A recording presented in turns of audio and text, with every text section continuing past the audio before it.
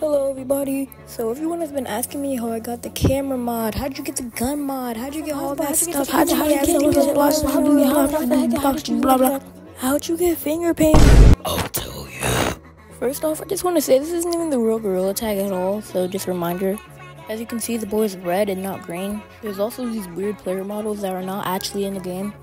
And of course, we have the custom cosmetics. I'll go into Forest 2 and show you in-game that this is not the real gorilla tag. It's not real. It's not real, it's legit. I'll reveal the name of the game at 500 likes. And if you still tell me to do it, I will find you.